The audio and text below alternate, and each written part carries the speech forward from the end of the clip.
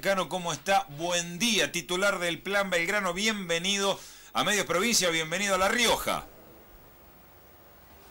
Buen día, ¿cómo están? Nosotros bárbaro, acá eh, disfrutando de lo que es un, día nublado, que está bárbaro, no con el calorcito propio de La Rioja, y justamente nosotros estamos aprovechando para, para darle la, bienvenida a usted y justamente preguntar, eh, justamente preguntarle ¿Qué es el Plan Belgrano? ¿De qué se trata y cómo beneficia a nuestra provincia? Por ahí para el oyente que, que no está sumergido en el tema. Bueno, a mí me tocó, me tocó el, calor de La Rioja hace unos días. estuvimos también un día, un día espléndido con la inauguración de Tecnópolis, que estuvimos con el ministro Hernán Lombardi, con el gobernador Sergio Casas. Eh, la verdad que eh, ya contestando su pregunta, el, Plan Belgrano refiere a una decisión política del presidente de la Nación de, poner el foco en las 10 provincias del NOA y del NEA, que son las provincias históricamente más postergadas de la Argentina. Eh, hablar de federalismo de hechos, de federalismo en serio, implica, por ejemplo, que una buena decisión que tuvo el gobierno anterior de, con lo que significa Tecnópolis de poder eh, llevar esa muestra itinerante a todas las provincias eh, del NOA y del NEA, que tenga la posibilidad de acceder como la tienen hoy los riojanos, como la tuvieron los salteños y los santiagueños, que en, esas dos provincias hubo casi un millón doscientos mil visitantes. El gobernador de La Rioja eh, dijo que iba a marcar récord de, visitantes a la, muestra de Tecnópolis. Eh, hay toda una mirada de recuperación integral de todo lo que tiene que ver con la logística, con, la conectividad entre las provincias del norte primero, eh, y luego el norte, digamos, las provincias del norte con el centro del país, por eso es muy importante en esta primera etapa la, recuperación del eje troncal del ferrocarril Belgrano, que está la primera etapa en plena ejecución, eh, eh, de la misma manera que darle y bajar la siniestralidad en nuestra ruta y transformar la ruta 9 y la ruta 34 desde Jesús María Córdoba y desde Rosario hasta Jujuy, de manera tal que vayamos con el,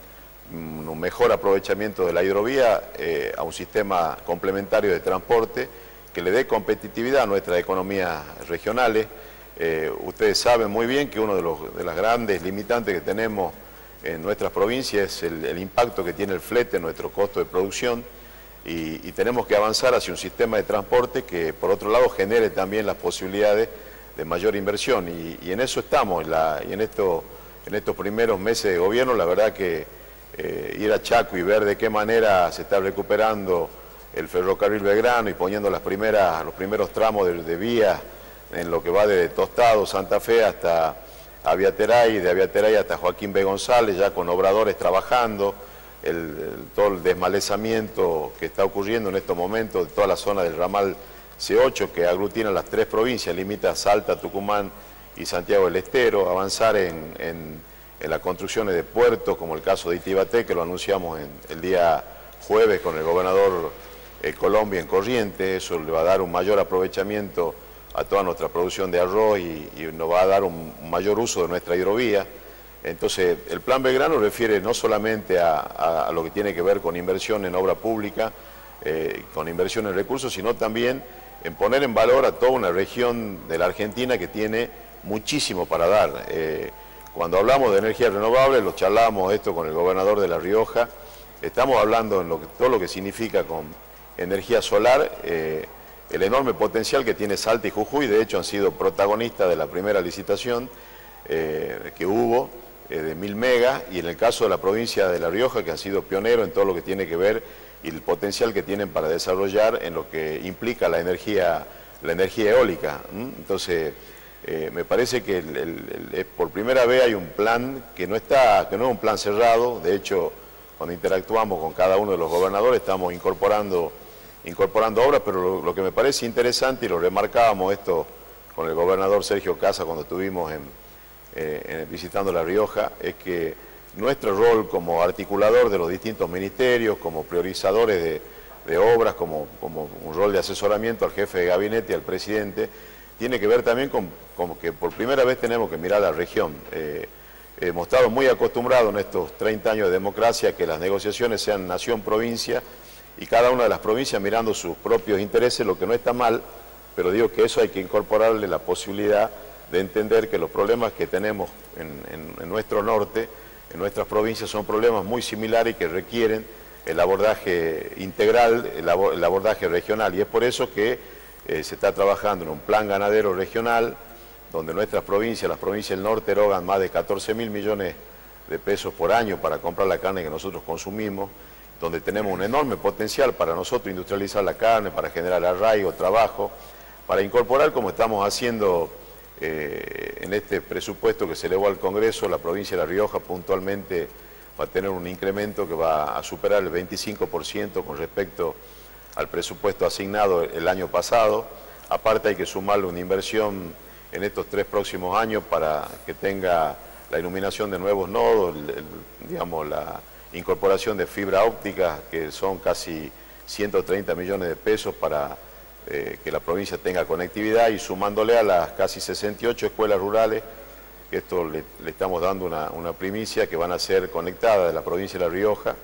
a través del satélite y van a tener también eh, acceso a TDA, la televisión digital. Eh, esto, como en muchas otras provincias del, norte, tiene que ver con que más allá de que incrementemos los kilómetros y la, iluminemos más nodos de fibra óptica, las localizaciones que tienen estas escuelas no van a tener posibilidad de acceder a Internet y ha habido ya un convenio entre el Plan Belgrano, el Ministerio de Educación y el ARSAT que firmamos la semana pasada y puntualmente a la provincia de La Rioja le corresponden, eh, son 68 escuelas rurales que van a ser eh, beneficiadas. Hemos firmado convenios también la semana que estuvimos con el gobernador eh, Sergio Casa vinculado al mejoramiento de hábitat y de vivienda de la localidad de Chepe y de barrios de la capital sumado a la nueva construcción de vivienda y al, abordaje que se va a hacer en los barrios más postergados, que da una cifra cercana a los 980 millones de pesos, más toda la inversión que se está haciendo en, lo que tiene que ver con, eh, con la infraestructura vial, digamos, con, con, nuestras rutas nacionales, como el caso de la ruta 75, la ruta 40, que son rutas que en este momento ya han sido incorporadas en el presupuesto del año que viene y son obras que se van a este, empezar a ejecutar y ya algunas se están ejecutando. Eh, Cano, buenos días, Ariel Mora los saluda. Eh, le quería preguntar más puntualmente sobre el Belgrano Cargas. Aquí en la provincia de La Rioja se habían iniciado este, obras eh, a, finalizar el año pasado, pero quedó todo en la nada. ¿Cómo va avanzando las obras puntualmente en lo que son aquí en la provincia de La Rioja con respecto al tendido del ferrocarril? ¿Y qué otro tipo de obras se tiene prevista en cuanto a lo que es este, rutas para agilizar lo que es el transporte de mercaderías? A ver, la, primera etapa de, recuperación del Belgrano, que es un hecho histórico para, el país, que va a ser muy importante, viene de un, financiamiento chino. Eh, esto lo hablamos con, el gobernador cuando estuvimos. Esta primera etapa eh, no va a ser la provincia de La Rioja tal vez la más beneficiada porque estamos recuperando todo el troncal madre del, del ferrocarril Belgrano pero estamos incorporando, está, digamos, para, la ejecución de la segunda etapa del caso del ferrocarril Urquiza de la zona del NEA, como las obras que, está planteando también, y lo estamos hablando con la provincia como estratégica para la provincia y para la región. Eh, hay, ya un, monto de casi 1.600 millones de, dólares que están eh, asignados para la primera licitación ya se hizo, que era la primera etapa que yo le, acabo de, denunciar. La segunda etapa eh, conecta todo lo que es Chaco con, Salta y la tercera etapa el ramal C8 con centros de carga en distintas, provincias. Eh, y, bueno, obviamente contemplamos, y esto lo hablamos con el ministro Diestri, conseguir financiamiento para recuperar todo el sistema ferroviario del, del y del NEA. En esta primera etapa puntualmente son las obras que nosotros anunciamos y que están que están hoy en ejecución. Y en La Rioja, digamos, la ruta 40, la ruta 65, la ruta 77, eh, la ruta 38, la ruta 60, son este, obras que, cuando estuvimos en la conferencia de prensa anunciamos y que tienen garantizado hoy el financiamiento, más obviamente toda la, inversión que el gobierno nacional también está, haciendo en materia social y lo que no es un dato menor y que me parece que, hay que reivindicar, que es el convenio que firmaron las provincias con el presidente, producto del cual ya hubo el primer envío de fondos eh, que, bueno, que ahora de, una manera absolutamente autónoma la provincia con sus, eh, con, el poder legislativo van a definir de qué manera se utilizan esos recursos. No tengo los números exactos de La Rioja en este momento, pero bueno, en el caso de Catamarca fueron 780 millones de pesos, Tucumán 1.100 millones de pesos, me parece que esto también habla de empezar a transitar un, federalismo en serio, donde las provincias recuperen ese 15% que la nación le venía reteniendo de manera, de manera indebida de hace bastante tiempo. Bien, para sacarnos las dudas, José, porque estamos desmembrando un poquito lo que es el Plan Belgrano y que nada mejor que tenerlo al titular para preguntarle, una de las características principales de este plan es el Estado en tu barrio. ¿Qué significa esto? ¿Qué, nos puede contar de esto? Bueno, nosotros desarrollamos eh, eh, digamos, en, este rol de, facilitar todo, digamos, todo lo que tiene que ver con los programas este, nacionales que se ejecutan en las provincias y que son financiados por la nación, poner en valor y acercar eh, esos beneficios a la gente. Y ese es un desafío que lo estamos haciendo de manera conjunta con los gobiernos provinciales y los gobiernos municipales. El plan Belgrano del Estado en tu barrio, eh, digamos, lo, iniciamos en la provincia de Jujuy y Misiones, una provincia del NOA y otra del NEA simultáneamente, y es llevar eh, todo lo que tiene que ver con la seguridad social, la gerencia de empleo, ANSES, la posibilidad de acceder de manera inmediata al, DNI, a los digamos, beneficios que brinda el Ministerio del Interior, el, el trailer sanitario, es decir, el rol del Ministerio de, Ministerio de Salud, la posibilidad de acceder de manera inmediata a saber si está incluido o no en el Fondo de Reparación Histórica eh, que tiene que ver con los jubilados. Entonces, eh, esto no es que vamos a visitar una vez la provincia y después no volvemos. Hay todo ya un, esquema de, diagramación en las 10 provincias del Plan Belgrano, de después visitar las localidades más alejadas de los centros urbanos, donde mayor necesidad hay, y aparte también de establecer un vínculo entre los organismos nacionales que están en las provincias para que después haya una lógica de operativos eh, trabajando obviamente en conjunto con la provincia de llevar el ANSES, de llevar todos los, ministerios que tienen dependencias nacionales en las provincias, acercar los beneficios a la gente. Ustedes saben que hay eh, muchos beneficios o posibles beneficiarios de programas eh, nacionales que la gente no accede por desconocimiento, porque no tiene la posibilidad muchas veces de llegar. Y esto nos plantean, eh, por ahí desde la capital federal no se entiende mucho, este, pero hay en muchos, en muchos casos municipios que uno visita, que muchas veces los intendentes tienen que ser facilitadores darle por ahí recursos para que puedan viajar a la capital, hacer los trámites de lanceo, trámites en la gerencia de empleo o todo lo que tiene que ver con, programas nacionales. Entonces la idea es tener proximidad, eh, de trabajar de manera conjunta con los gobiernos municipales y provinciales y de acercar de la, digamos, de la mejor manera posible los beneficios a la gente, estar en contacto directo con la gente. Y la verdad es que las repercusiones han sido muy buenas en la experiencia que hemos tenido, no solamente en las provincias que tienen que ver con el Plan Belgrano, sino en todo el, despliegue que se está haciendo también en el conurbano bonaerense, en la provincia de Buenos Aires. Eh, José, si hay dos temas que, se han tratado mucho, no tan solo en la provincia de La Rioja, sino a nivel país. Uno, tema reparación histórica y otro, las economías regionales, ¿no? Mire, nosotros tenemos, lo, dije cuando estuve en La Rioja y lo ratifico, estamos trabajando ya hemos tenido una primera convocatoria con eh, Ernesto Conor, que es el secretario de Planificación Económica del Ministerio de Hacienda. El primer encuentro fue en Tucumán, eh, con las seis provincias del norte, donde hemos invitado a todos los factores económicos, porque nosotros no tenemos ninguna duda que tenemos que llevar desde, desde las provincias que forman parte del Plan Belgrano una, cuando se debata la reforma tributaria, políticas fiscales diferenciales para nuestra región. Eh, y, en, ese, en ese esquema estamos trabajando y lo estamos haciendo con los factores que están directamente involucrados, digamos, en, debatir y en discutir seriamente que no se puede tener políticas eh, globales a regiones que hoy este, necesitan incentivos fiscales, necesitan inversión en infraestructura y logística para que vengan las inversiones. De lo contrario, porque el desafío, el desafío ¿cuál es? Eh, el desafío, el objetivo final de esta mirada que tiene el presidente con respecto al plan Belgrano es que generemos las condiciones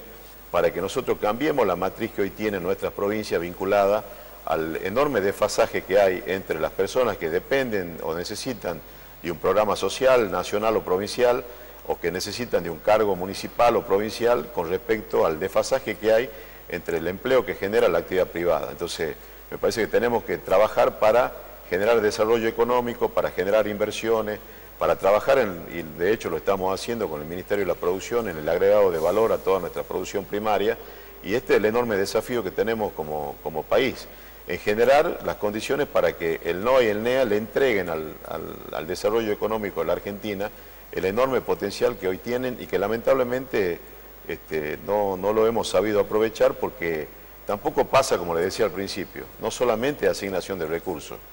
Digo, hemos tenido un crecimiento económico inédito en los últimos 12 años. El presupuesto nacional en el 2003 era de 53 mil millones. El último presupuesto aprobado eh, supera el billón 300 mil millones de pesos. Y sin embargo tenemos, digamos, las asimetrías en estos 30 años no se han resuelto.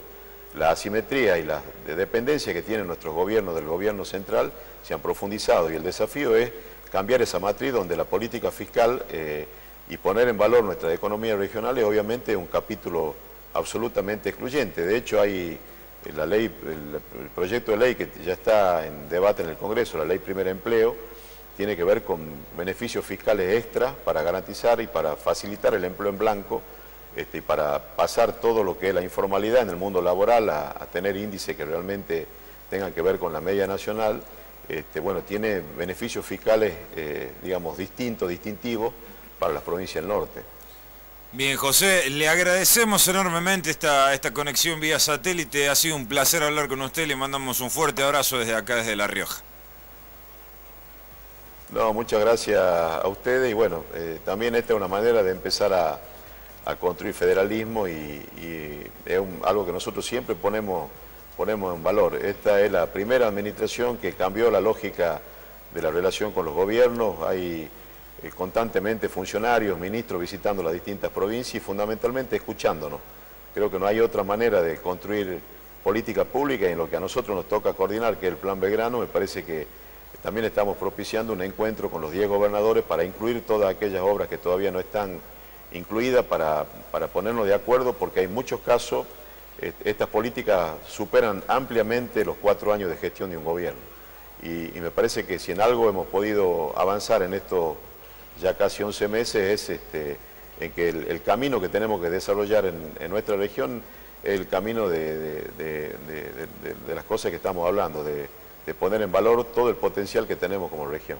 Bien, José, Medios Provincia a su disposición, un fuerte abrazo. Gracias a ustedes. Ahí estamos, la palabra del titular, Plan Belgrano, José Cano, ¿eh? hablando un poco de todo. Él en Casa Rosada, nosotros acá en la...